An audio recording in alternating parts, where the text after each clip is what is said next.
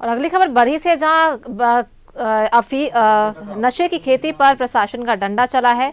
धोडिया और दुरागड़ा में करीब 100 एकड़ में लगी अफीम की खेती को पुलिस ने नष्ट किया है। इस दौरान सीआरपीएफ और पुलिस ने नशे के खिलाफ जागरूकता अभियान भी चलाया। थाना प्रभारी ने कहा कि आगे भी इस तरह के अभियान जारी रहेंगे।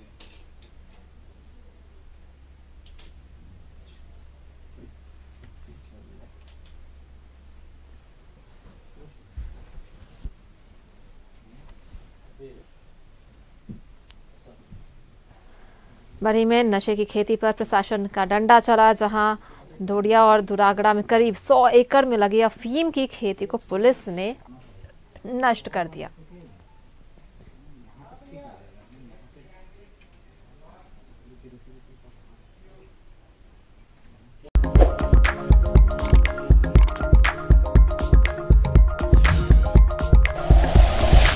Like and share videos, subscribe करें हमारा चैनल और प्रेस करें बेल आइकॉन न्यूज़ 11 भारत सच है तो दिखेगा।